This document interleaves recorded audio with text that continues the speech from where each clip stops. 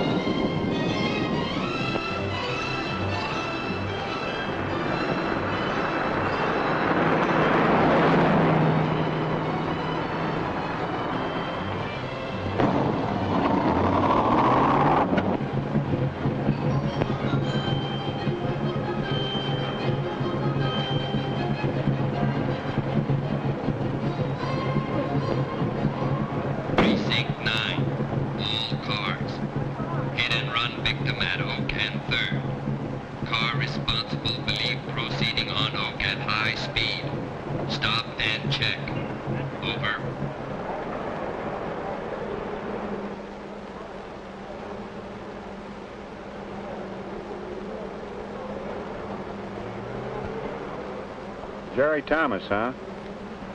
We hoped our warnings would keep you out of trouble. Guess this is it.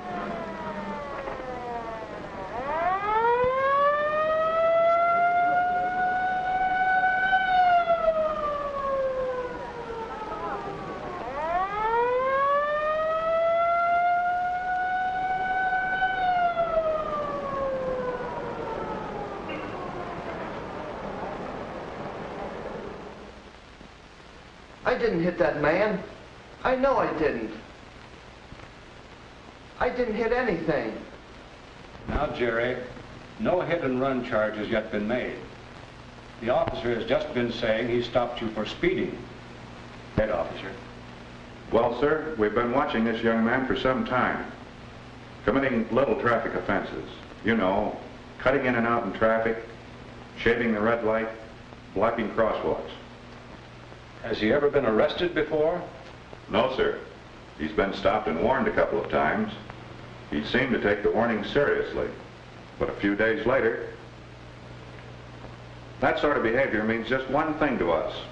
Sooner or later, the offender is going to hit real trouble. Your last statement may appear irrelevant, officer. However, it is the practice of this court, in the case of young first offenders, to deviate sometimes from formal procedures. We do this in the hope of preventing future offenses by finding causes. Now, officer, with this in mind, do you have anything further to say? Well, sir, I did see this boy a couple of months ago at a demonstration given by the high school driver education course. What happened there bears out what I've said about his bad driving attitude. The class was testing stopping distances and reaction times with the brake reaction detonator.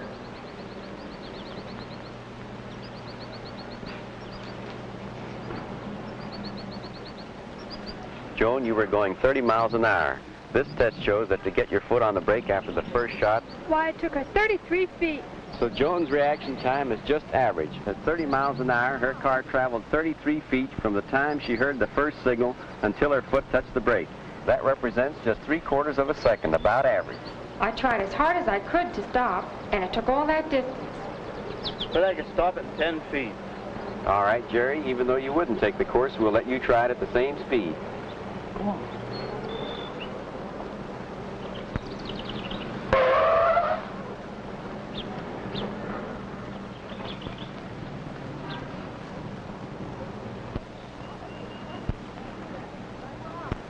At 30, hit the brake in about half a second.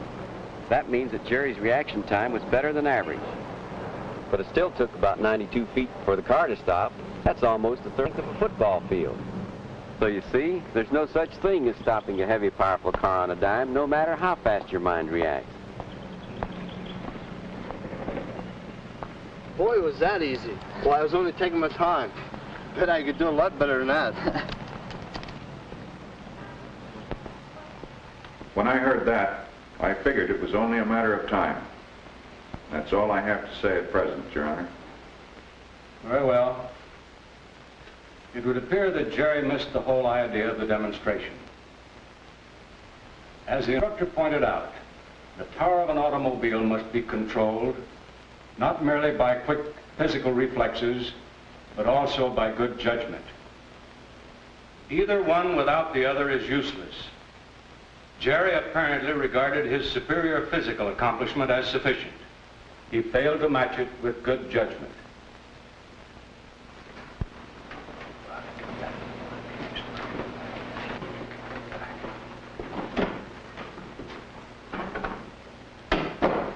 Excuse me, uh, sir, but exactly what are the charges against my son? At the moment, Mr. Thomas, speeding and reckless driving. A charge of manslaughter may have to be made later, depending on the report of the accident investigation squad. I just can't understand it. I just can't believe he's like you say. But Jerry was always so good about the safety rules when he was a little boy.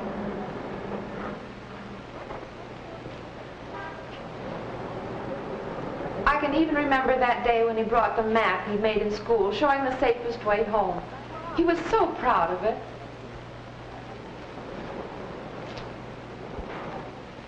He can't have changed that much. I'd like to think so, Mrs. Thomas, but he was only a little man with good walking habits. But Jerry seemed to keep that attitude while he was growing up. In fact, when he was 12 years old, he won a prize in a bike riding contest because he knew the rules so well.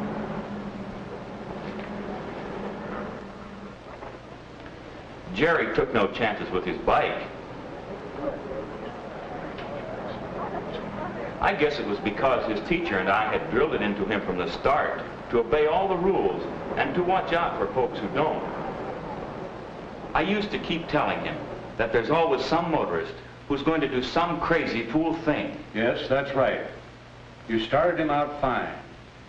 But did you follow through with those ideas when Jerry began to drive? There's no doubt, Mr. Thomas, that Jerry's early training made him a good pedestrian and a good bicycle rider. But maybe he needed some more help, some special help, when he started to drive a car. That's when he started to borrow power, not his own. What is your name, young lady? Nancy. Nancy Tilford, sir. Yes, all right. And you were riding with Jerry when the arrest was made? Yes. Yes, I was. Now, suppose you tell us everything that happened from the time you started out this afternoon. Well, we... It was in front of my house where we started. Then Dick came along, just as Jerry was helping me into the car. And Jerry was helping you into the car? Oh, yes. He's always very polite about things like that. I see. Go on. Well, like I say, Jerry was helping me into the car when Dick came along. And we all decided to go down to Warner's for a mall.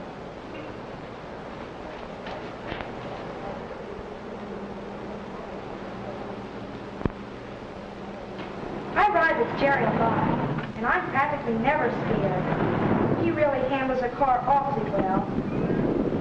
Well, on the way, we stopped sort of close to another car at a red light, the man said some awful things to Jerry. I get so embarrassed when those things happen. Some people can be the worst sports. Of course, Jerry says other people take advantage of you. And if you want to get anywhere, you just have to be first. When we got near Warner's, we did stop in a crosswalk because we were looking for a place to park, and Jerry didn't see the red light in time. I think it's terribly discourteous, but like Jerry says, people do it all the time. And then he did something so sweet that I just had to forgive him. He accidentally made a lady drop her bundles and helped her pick them up.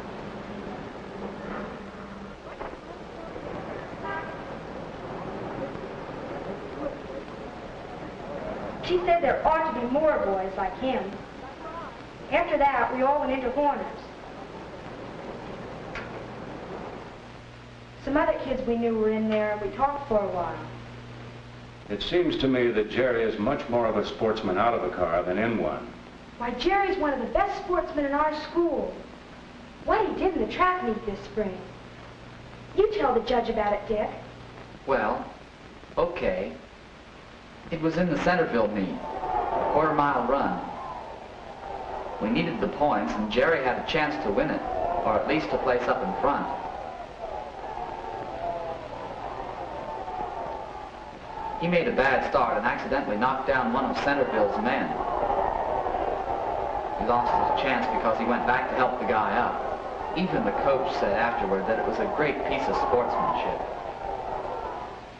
That kind of sportsmanship is a priceless thing, Jerry.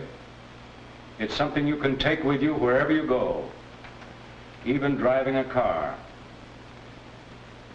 Now, Nancy, what happened after you came out of the drugstore? Well, we started out for a ride.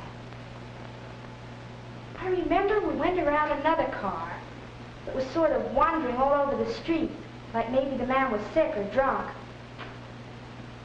I wasn't so much scared then. It was on under Oak and hit that big bump. It was the curb.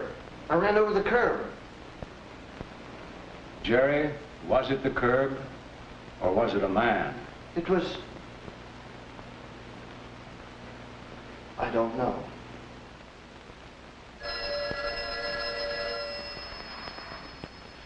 Yes? All right. Five minutes? Yes, thanks. Now, Jerry, I want you to know that a hit and run charge has not yet been made. It depends on the result of the investigation. I expect final word in a few minutes. But perhaps now, the caution and respect you had toward automobiles as a little boy is beginning to take on a new meaning. As a pedestrian, as a bicyclist, and as an athlete, you used your own power wisely. But when you borrowed the power of an automobile, you failed to see that it was not yours to do with as you pleased. It was only yours to control. Nearly everywhere we look, we see men controlling power. In many cases, human lives or valuable goods depend on how these men control and use that power. You have to remember that a powerful machine does not do its own thinking. You must do the reasoning for it. The driver of a bulldozer, for instance, can't afford to be reckless or to forget what he is doing even for a moment. And neither can you as the driver of an automobile. Sportsmanlike driving means that you drive with courtesy to others, that you observe all traffic laws, that your car is always in control.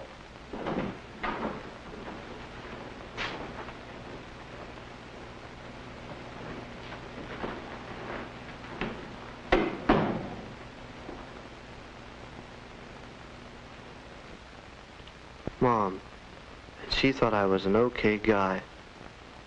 There's Dad. He had the right idea and I fumbled it. And Dick tried to make me look good to the judge. Nancy, she'll never want to ride with me after this. Me. I didn't drive that car, it drove me. I won't drive again. I'll never drive again. I'll never drive again. What you mean is you'll never drive again as you did today, Jerry. This report just handed me clears you of the possible manslaughter charge. Your car showed no evidence of having struck a person. The car that killed the pedestrian was the car you passed. It was found a few blocks from the scene. The driver was intoxicated. You must realize now what a dangerous situation you have been in because of your unsportsmanlike driving. The evidence given here today, together with other evidence of the manner in which you were operating a car, makes you guilty of reckless operation. I hereby impose a fine of $25.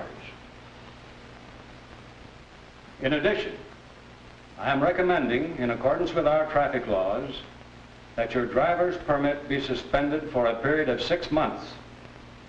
Then, if you get your permit back, and if your parents allow you to use the car, well, the rest is up to you. This court is adjourned.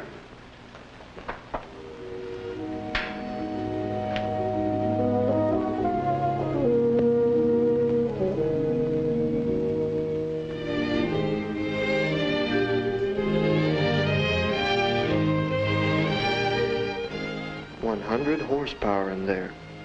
Borrowed, the judge called it. Nothing but warm water for a brain. Can't think for itself. That's where I come in, I guess. I've got six months to do some real thinking. Thinking I should have done before. From now on, when I borrow this power, I'll furnish the brain. That ought to make a good team. A good, safe team. Thank you.